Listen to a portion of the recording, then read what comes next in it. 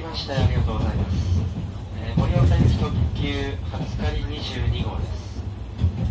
え列車掌は JR 北海道の今野です。途中青森までご案内しております。青森から先 JR 東日本の乗務員がご案内いたします、えー、ただいま1号車に乗務しております。ご用の際はお気軽にお待ちください、えー、次は五稜郭に停まります、えー、続いて蟹田青森。青森には15時34分。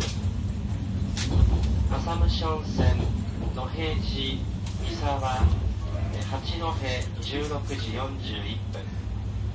三戸二戸一戸終点盛岡の順の電車となります。盛岡17時52分到着です。途中降りの際にはお忘れ物ございませんようまた足元にご注意ください。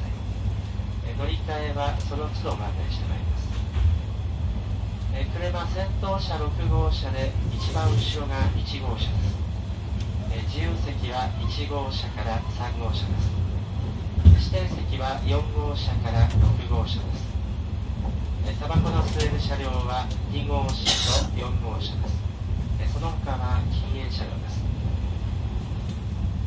えー車内の販売は後ほど準備ができ次第お席にお伺いいたします。どうぞご利用くださいえーカード専用公衆電話またジュースの自動販売機は5号車についております。えーご参考となりますが青函トンネルには14時28分に入ります。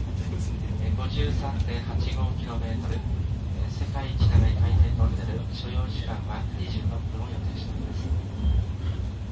また乗車券特急券をお持ちでないお客様変更などはえ車掌を通った際にお持ち付けください。